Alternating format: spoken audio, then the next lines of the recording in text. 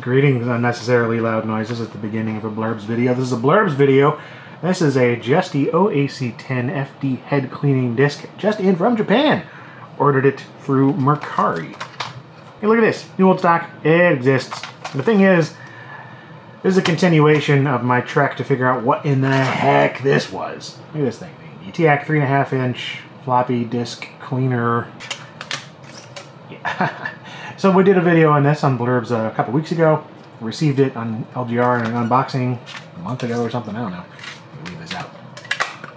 And I was really confused because when I looked inside, I was like, oh, there's not a cloth in there like the cleaning discs I'm used to, where you, you wet them down with a little bit of cleaner. Just looks like data. Here's the other thing that confused me, was that if I compared it to uh, just a regular floppy disk, to my eye, it looks identical. I don't see any difference in the two materials. And of course, this ran a program with some delightful animation and MIDI music. But in the comments, this, this was the one that really sent me down another rabbit hole here. So check this out.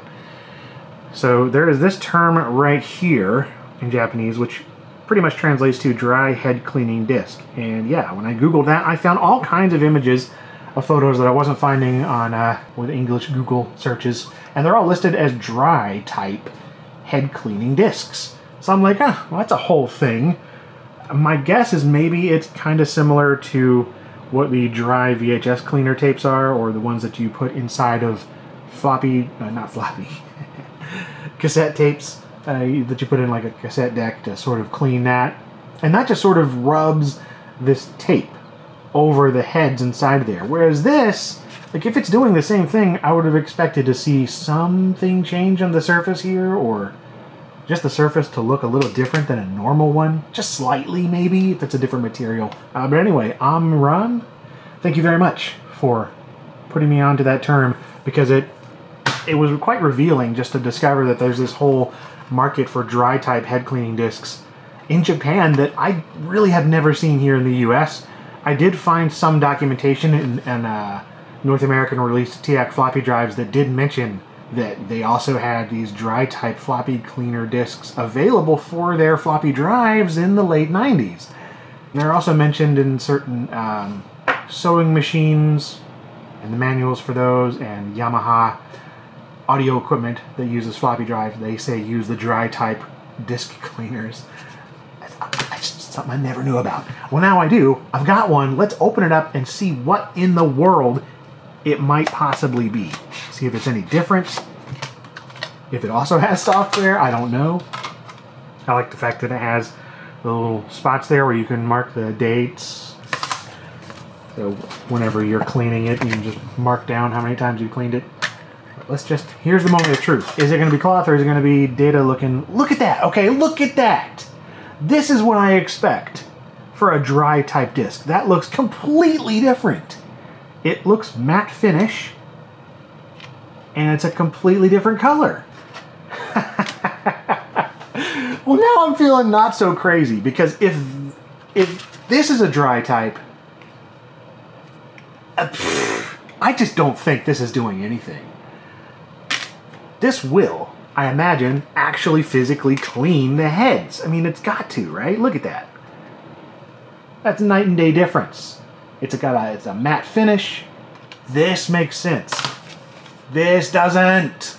The mystery deepens. Now, this is only one dry type head cleaner disc that I found. I only found one available for sale, you know, that I could get to uh, ship to America anyway.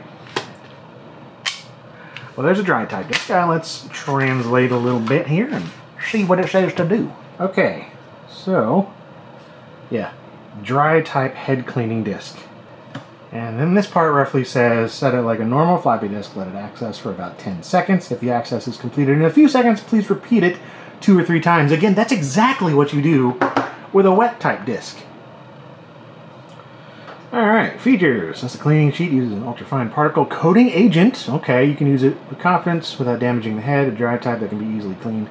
That was another thing people were uh, wondering was like, is this like demagnetizing anything or doing something weird? I, I can't imagine how, considering it's just data on there. Um, and again, that's not really something you would do with a cleaning disk. That's something else. So, whatever. so this uses an ultrafine particle coating agent. How to use it. Same stuff. Double click my computer. Disk is not formatted. Do you want to format now? Select no, remove the cleaner. That's it. You just access the thing. And then the last part, caution, do not scratch it, do not soak or, yeah, no water. Avoid direct sunlight. Disk cannot be accessed, remove it, and okay. Literally nothing surprising here whatsoever. Well, last thing to do is just test it out, and we'll see if there's any surprises whatsoever, but I'm assuming absolutely nothing. They say that it's going to put up a message saying, oh, it needs to be formatted, so there's not going to be data on here. Windows. Alright, IBM ThinkPad 380XD here. Inserting the disk. Listen to that. You can physically hear that differently as it's sort of scraping up against the head just a little bit, I assume. And there's no data on there. so that is uh, what that is, right?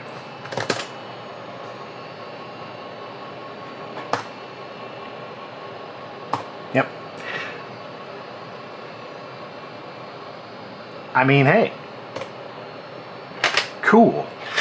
Now let's see if it looks any different whatsoever. Yes, it does.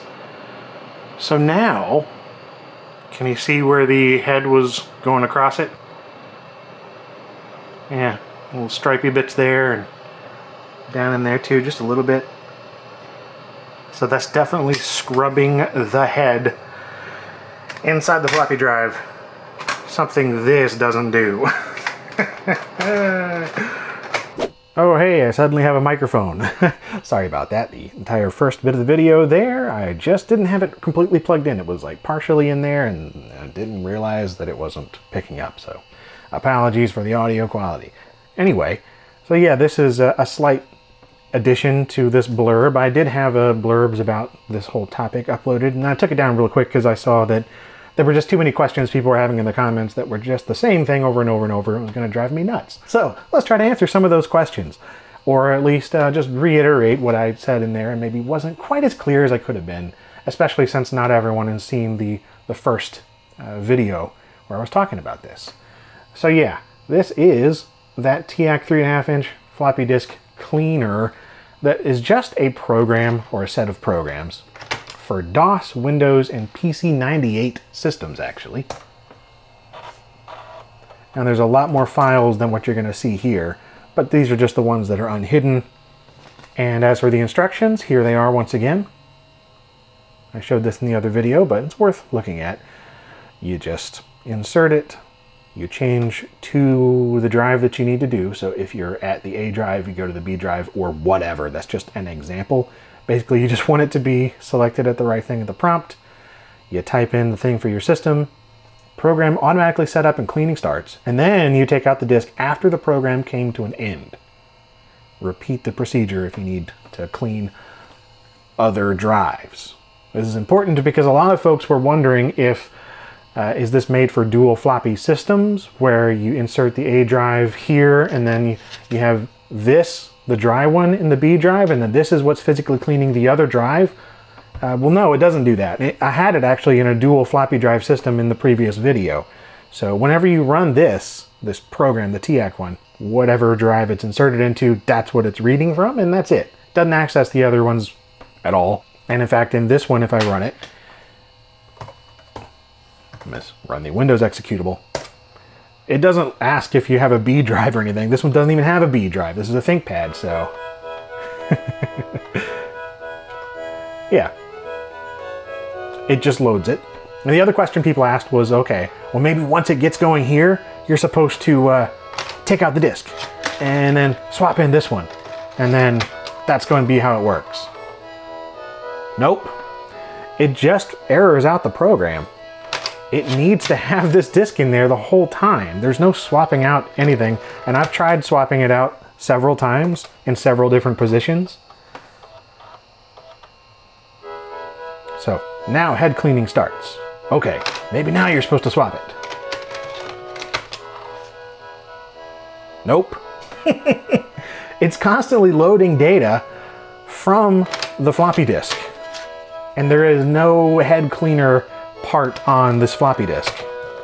So I really don't think this is meant to be swapping out for anything. Like, you're not supposed to take this TEAC one out of there. And once you get to this point, maybe now you can swap it, people were asking.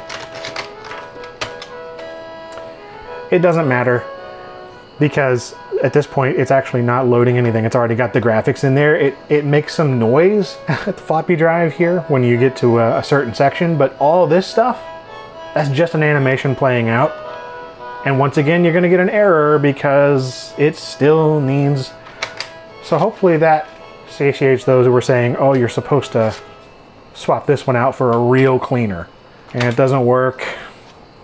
Wish it did. That was a good idea, actually. I thought, oh, okay, well, maybe maybe it just didn't say to do that in the instructions, but now it says cleaning is over, take out the head cleaner from the drive. Now you can take it out, and it closes properly.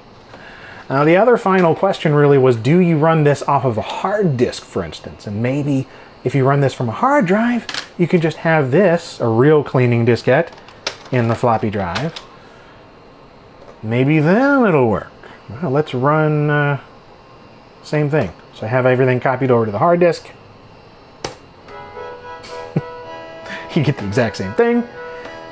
And it's not going to load anything from the floppy drive. It's not even looking. It's not accessing it whatsoever. And I've tried this several times now. I've restarted Windows, gone into just pure DOS mode. I tried it on the other system, the Megalumina Monster, same exact results.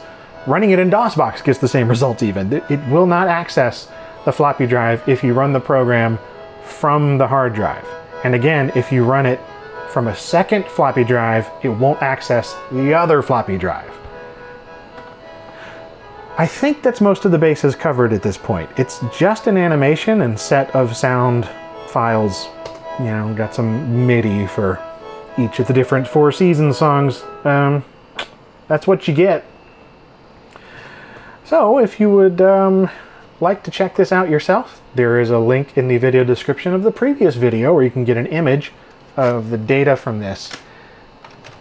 And as for this one, I mean, yeah, it's a legit cleaning disc. It's not doing anything crazy. Honestly, I've had some really good results with the cloth ones where you, you know, the wet type discs.